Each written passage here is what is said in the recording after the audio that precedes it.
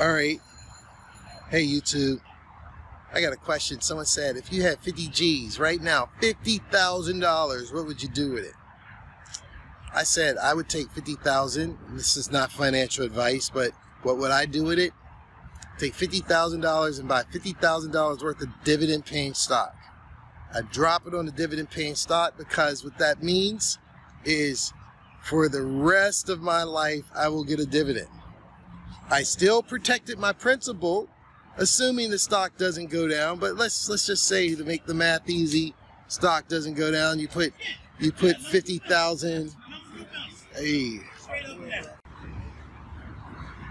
You put fifty thousand on a stock. So let's start it all over again. Fifty thousand on a dividend paying stock.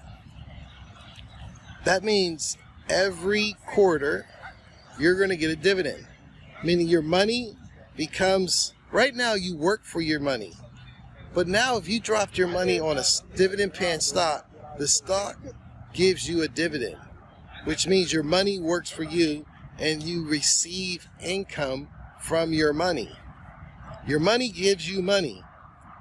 So, this is important because one of the videos I'm going to make, the subsequent videos you'll see, is going to be called The Money Machine. I'm in my 50s one of my young young friends asked me, he said, Kevin, if you could go back in time, what would you do? I smiled. I said, I played a lottery number because I know what the number is going to be, and I just end all this. But honestly, if I could go back in time, I would make my money a machine. And the way you do that is you say a lot of people put their money in real estate. With real estate, they get the rental income, so their money gets them a house. Let's say it appreciates but if you put your money into a dividend paying stock, let's say AT&T for example. Now AT&T is going to cut their dividend, but right now it's 50 cents, let's say 52 cents. But you have one share, you get 50 cents. You have 10 shares, you get $50 or $5.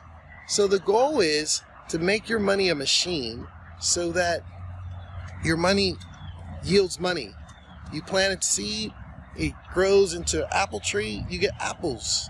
So you want to make your money a machine.